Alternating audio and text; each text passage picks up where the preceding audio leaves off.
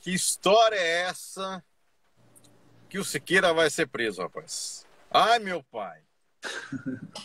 Roger, deixa eu te passar. É, esse aí é um fato ocorrido em 2018. Ele apresentou um programa e nesse programa de 2018 ele fez um comentário específico a uma personagem que estava aparecendo lá na televisão, relatando. Falou assim: olha, mulher que não pinta as unhas é cebosa. Fez um comentário em cima de uma crítica que ele vem fazendo, uma crítica jornalística. O que, que aconteceu? O promotor da cidade, no imaginário dele, que existe aí um abismo entre esse imaginário para a realidade, de fato, é, de um crime de racismo, achou por bem fazer uma representação, uma denúncia contra o meu cliente, alegando a ocorrência de um crime de racismo. E essa denúncia que ele fez, sequer o juiz ainda analisou. Sequer existe qualquer decisão judicial em cima disso. E mais, o juiz pode, de plano, rejeitar a denúncia, não aceitar. Eu não vejo fundamento jurídico para que logre êxito uma ação temerária como essa. É, eu é... também. Porque assim, o, o Ranieri. Agora, é... só concluir um detalhe aqui, Roger. Uhum. A, a imprensa é, colocou assim: ele pode ser preso. Não existe na denúncia pedido liminar de prisão. Hum, Para ter importante. a prisão, tem que ter também os elementos ensejadores que possa dar uma prisão. E não existe esses elementos que possa dar prisão. Por outro lado, Siqueira nunca foi condenado criminalmente. Não existe uma condenação criminal contra Siqueira Júnior. Siqueira Júnior é, tem residência própria, trabalho lícito, é, não, não está sujeito, digamos, a qualquer artifício para que possa ser ensejado essa prisão.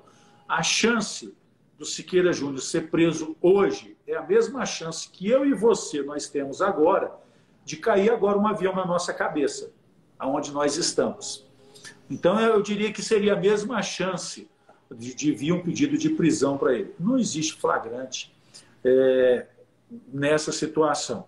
Agora, quando o promotor oferece uma denúncia, é normal nos pedidos dele ele colocar que o réu é, seja imputado para ele os rigores do artigo tal, e coloca o artigo que ele acha é, que ele está sendo condenado.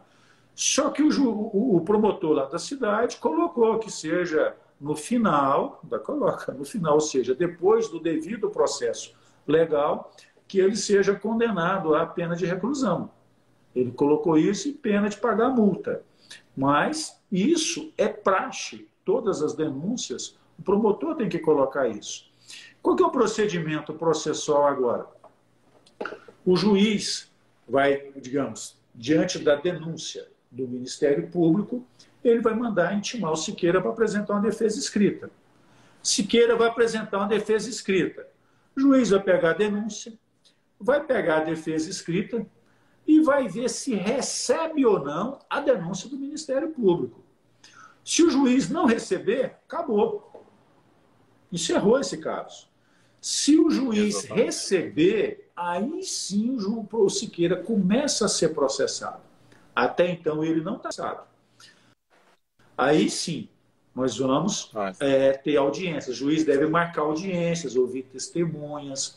De, Siqueira vai ter o direito de poder falar, que o inquérito que o promotor fez, Siqueira sequer foi ouvido.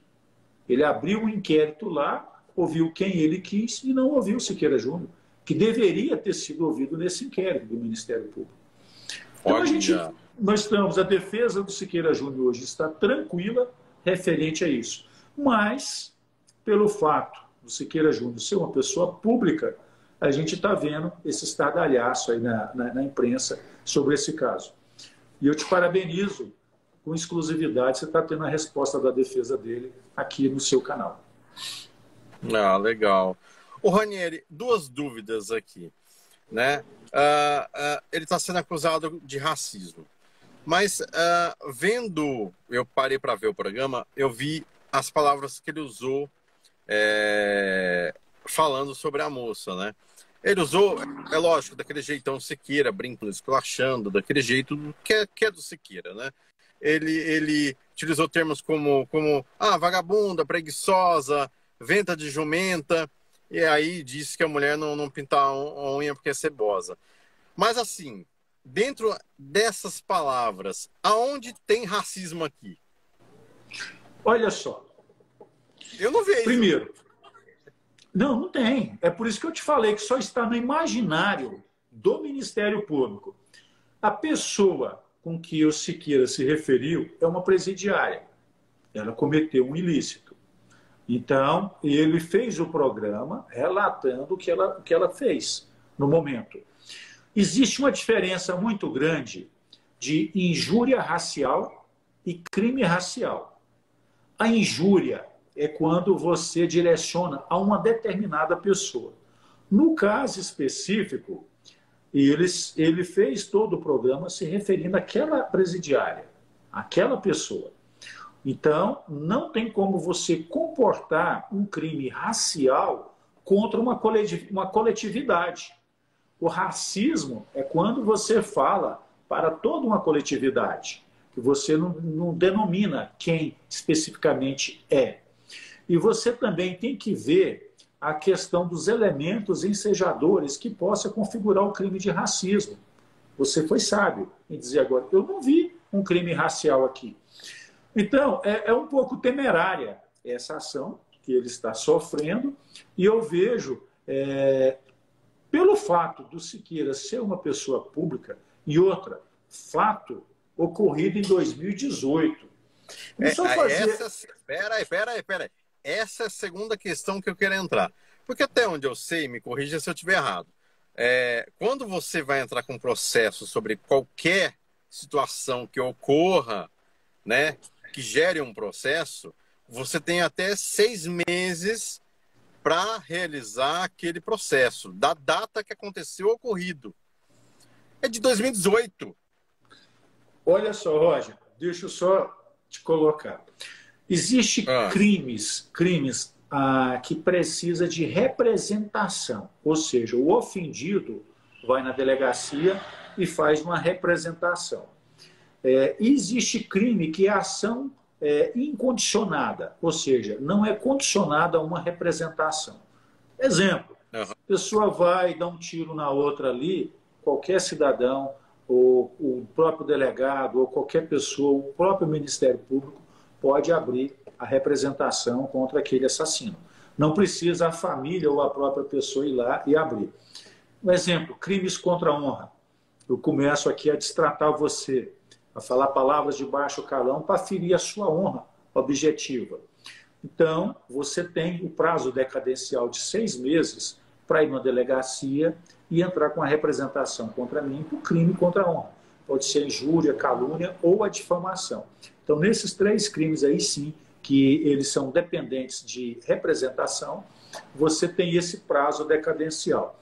Mas existe um outro prazo também, é, é o seguinte: essa lei da imprescritibilidade do crime racial, ela, se eu não me engano, é de 2021. O fato aconteceu em 2018. Ou seja, uma lei criminal, uma lei nova, ela não pode retroagir para poder prejudicar o réu, que seja é, maléfico ao réu. Ela serve é, ex tunc, daqui para frente. Ela nunca deve retroagir. Vou te dar um exemplo em cima disso. Nós temos o caso da apresentadora Xuxa Meneghel. Ela fez um filme há muito tempo atrás com uma criança menor de idade. Amor e estranho amor. Em cima, em cima desse filme não existia ainda uma legislação nossa que criminalizava isso. Hoje tem essa legislação. Hum. Então, ela não pode hoje responder a um crime lá atrás, feito que hoje é crime, ah. antes não era. Porque a lei não pode retroagir para poder prejudicar o réu. É a mesma coisa desse fato. Se essa, essa lei racial é de 2021, que ela não, não prescreve mais o crime racial, então ela não pode é, retroagir para poder prejudicar o cliente, prejudicar o réu. Então, isso aí são elementos que a gente vai trabalhar na defesa, mas assim mesmo, só te falando para você né, já ficar mais inteirado dessa parte.